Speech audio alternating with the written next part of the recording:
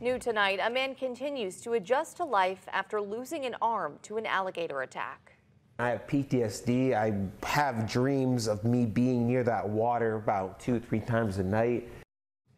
Thank you for watching the Night Beat. I'm Taylor Wirtz. And I'm Russ McCaskey. Wink News first brought you the story from Port Charlotte back in 2023. 24-year-old Jordan Rivera fell into a pond behind uh, Bandito's bar while trying to relieve himself. Moments later, this 10-foot alligator tore his arm off. A group of Good Samaritans managed to pull Jordan out of the water. Tonight, he is sharing his story of survival with Wink News. The Night Beat's Maddie Herron joins us live from Banditos. Maddie, did Jordan think he would make it out alive?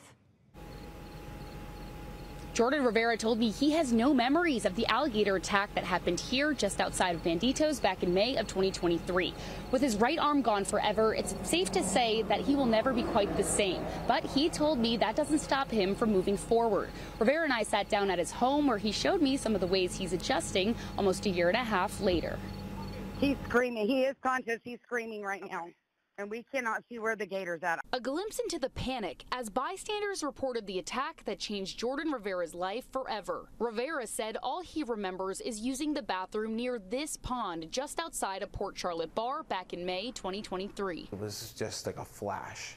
And then I was in the hospital. Waking up in the hospital, Rivera didn't realize this 10 foot alligator, later caught by FWC, had attacked him, let alone what the massive reptile took with it. For me to wake up and for them to tell me I have no arm and that this and that an alligator had gotten me, I was like, alligator, the last thing I would have thought in the world. His injury turns one simple task into daily struggles. But for Rivera, losing his arm does not mean losing his motivation. I do pretty much most things most people do, but maybe a different type of way.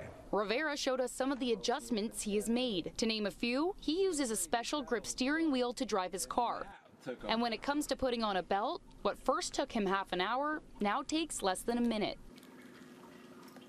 A sign of growth as he continues to navigate his new reality. I realize that I have one arm, but that doesn't let me down. I don't let anything hold me back. I wake up and it's a new step for me.